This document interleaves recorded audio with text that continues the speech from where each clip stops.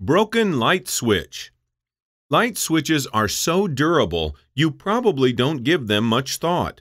However, on the rare chance they do break, you might be tempted to call an electrician. Rest assured that replacing a broken light switch is quite easy, and if you take the necessary precautions, it is completely safe for a novice do-it-yourselfer. You'll need replacement light switch, screwdriver, flathead by the way, voltage tester, and a wire stripper. To fix, step 1. Turn off the power to the switch at the main circuit breaker or fuse panel. Step 2. Unscrew and remove the switch plate. Then use a voltage tester to make sure that the circuit is dead. Step 3. Unscrew the switch from the electrical box and pull it out with the wires still attached two or three wires will be attached to the switch. An incoming hot wire, which is black, a return wire, which carries the load to the fixture and may be black, red, or any other color except green, and sometimes a grounding wire, which is green or bare copper.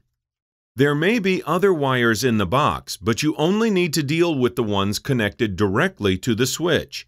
You may also find a white wire that has black tape on it connected to the switch. This tape indicates that the white wire is being used as a black or colored wire in the switch leg, so it's not neutral. Step 4. Compare your new switch with the one you're replacing to find the corresponding locations for the electrical screw connectors. With the power shut off, you can match up the connectors quite simply.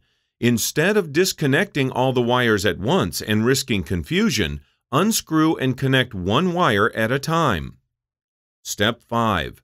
Attach the first wire you unscrew to the same colored screw on the new switch as it was on the old. Then do the same with the second. To connect a wire to a terminal, strip off about 1 half inch of insulation using a wire stripper and twist the end into a clockwise loop with long-nosed pliers.